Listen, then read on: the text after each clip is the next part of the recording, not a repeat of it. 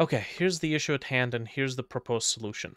Um, I have a single object that was animated in Blender that has two animations that have nothing to do with each other.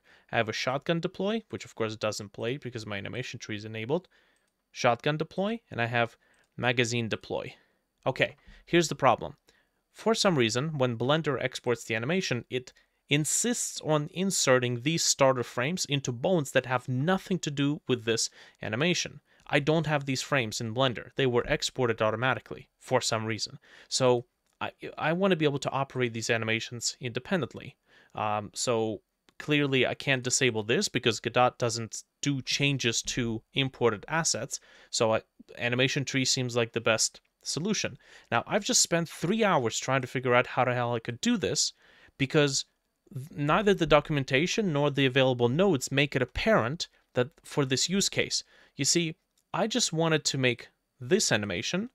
If I re-enable the animation tree, you can actually see it. I wanted to be able to control this animation independently from this animation. As you can see right now it works, but the only way it works is because I have hacked my way into using the one-shot node for something that it wasn't designed to be used for, which I basically didn't plug in anything into the shot input, and I just set the filters to use these bones. Took me three hours to do this. Documentation doesn't mention it, but this is a legitimate use case. So my proposition, why not add an additional node called filter node? The only thing it does is it has an input, it has an output, and it has a filter button.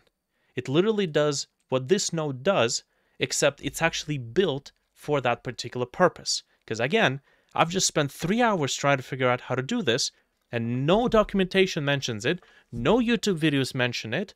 It's a legitimate use case. Now, I'm sorry I can't provide you with uh, implementation code. I know you guys don't like people offering feature suggestions without providing some sort of implementation code, but I think it's kind of a no-brainer. Just take this node, copy paste it, remove all this extra stuff, leave the filter in. The presence of the node and the name of the node itself will be self-communicating. Okay? Sorry, it's frustration. Three hours on something that's so stupidly simple.